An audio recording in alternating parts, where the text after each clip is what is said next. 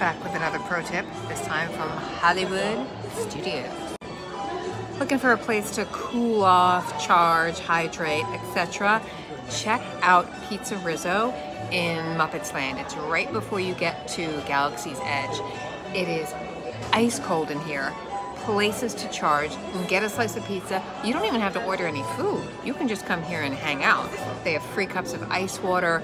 And here's the best part. It's almost always completely empty. Why?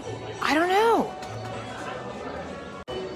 Come check out PizzeRizzo the next time you're in Hollywood Studios. You won't regret it.